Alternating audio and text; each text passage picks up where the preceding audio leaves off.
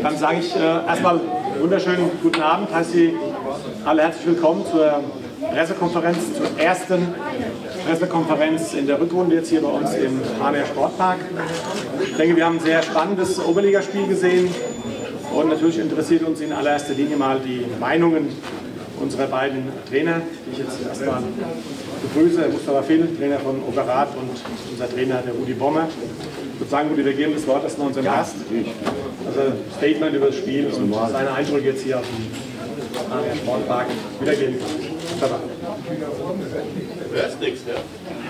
Erstmal schönen guten Abend. Äh, Ich bin noch ein bisschen, bisschen vom Spiel mitgerissen, aber erstmal ein ganz, ganz, ganz großes Kompliment an die äh, Heimmannschaft für den Sieg, was im Endeffekt äh, auch äh, verdient war, weil sie 3-2 gewonnen haben. Und an meine Mannschaft natürlich auch ein ganz großes Kompliment.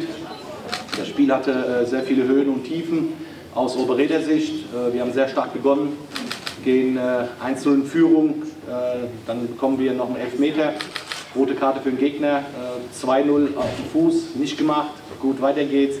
Äh, 3-0, 4-0 auf dem Fuß, auch nicht passiert. Und ja, somit ist dann äh, Hessen 3 Eich äh, in diesem Moment äh, auch ins Spiel gekommen. Und das war auch unser Matchplan, in den ersten 15, 20 Minuten das Spiel zu unseren Gunsten zu entscheiden. Das haben wir nicht geschafft. Natürlich äh, ist es schwierig, äh, dann auf solchen Bodenverhältnissen äh, dann auch äh, richtig gut Fußball zu spielen. Das gilt aber für beide Seiten. Es war sehr, sehr schwierig. Es war sehr, sehr kampfbetontes Spiel. Es war äh, ein sehr gutes Tempo, was ich fand, weil es immer hoch und runter ging. Aber nichtsdestotrotz äh, mache ich meiner Mannschaft ein sehr großes Kompliment.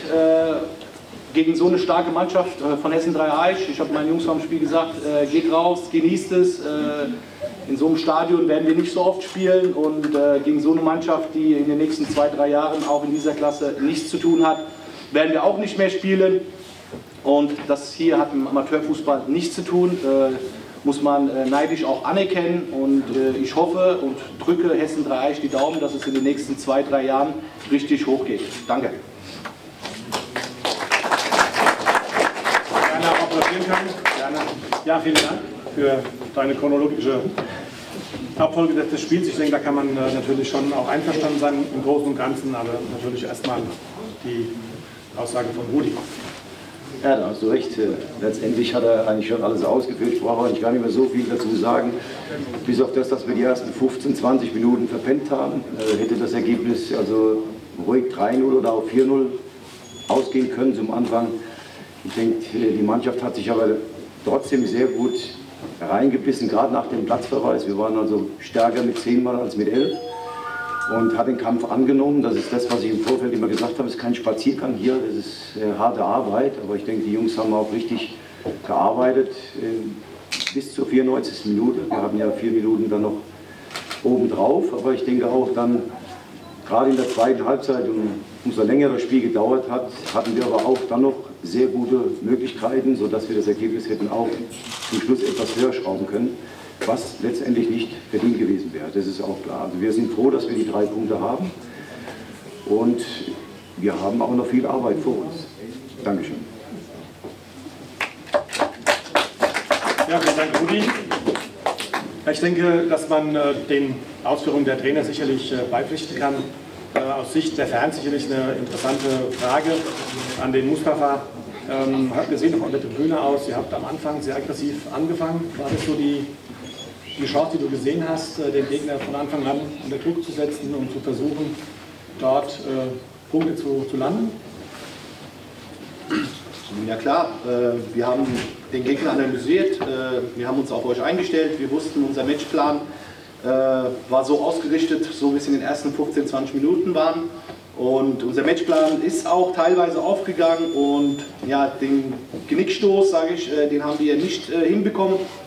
Gut, sowas kann passieren und äh, wie gesagt, also äh, wir machen jetzt hier keinen Vorwurf, äh, auch nicht demjenigen, der den Elfmeter rein, nicht reingemacht hat. Das war auch dann der gleiche Spieler, der dann das Abseits äh, produziert, wo der Ball ins Tor geht, äh, wo der Penner nicht hingeht, äh, dann passiert das Tor.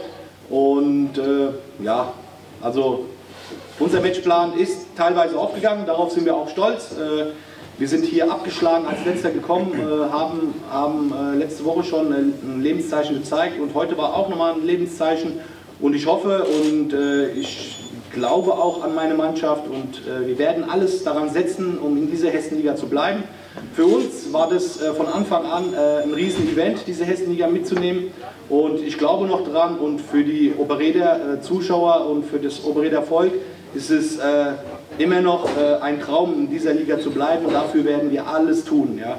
Und äh, ich denke, wir leben den Fußball mit Kampf, mit äh, Einsatz und mit Laufbereitschaft und nur so haben wir eine Chance und äh, das werden wir auch in den letzten Spielen so weiterhin produzieren.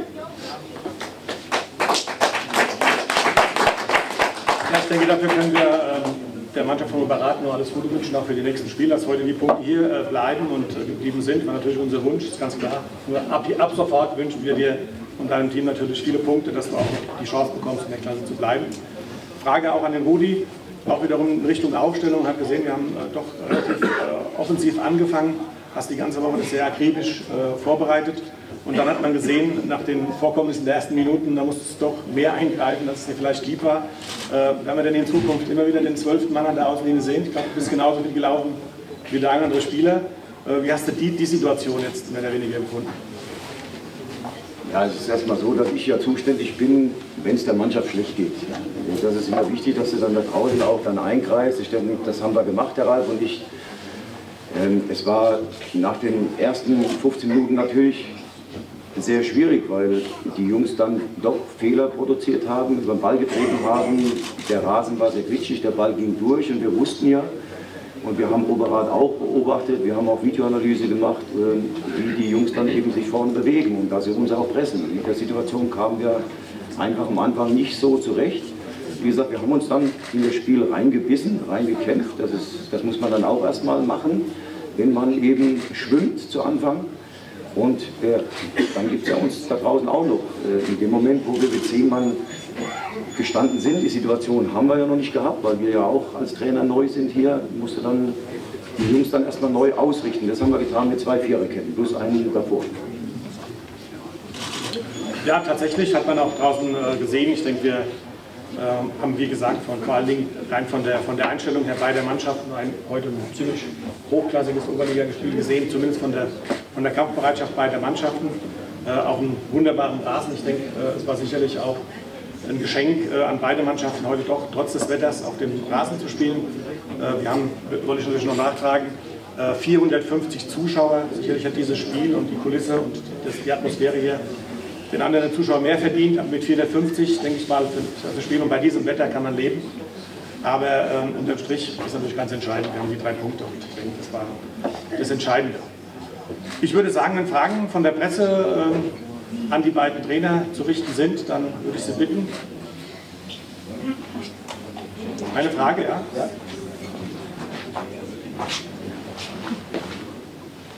Schönen guten Abend, Pedro Azelis von Maintreffer. Äh, Mustafa viel äh, meine Frage.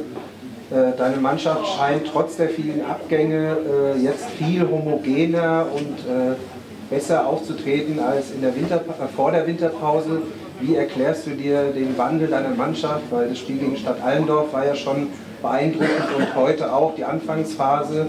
Ähm, wie erklärst du dir den Wandel deiner Mannschaft?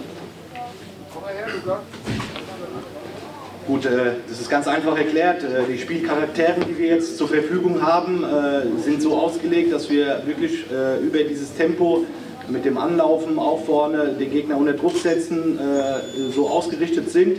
Und die Jungs setzen das super um und ich möchte jetzt auch den Jungs, die jetzt den Verein verlassen haben, aus welchen Gründen auch immer, keinen Vorwurf jetzt machen, nur da mussten wir das Spiel halt schon ein bisschen anders aufstellen vorher. Und äh, das spielt uns natürlich jetzt besser in die Karten, weil wir auch keine ja, Stars hatten wir eigentlich nie in der Mannschaft. Aber die Mannschaft lebt den Fußball und äh, weiß, auf was es ankommt und das setzen wir halt um und deswegen denke ich mal, äh, ist es auch momentan so und wir werden es auch so weiterführen, weil das die einzige Chance ist.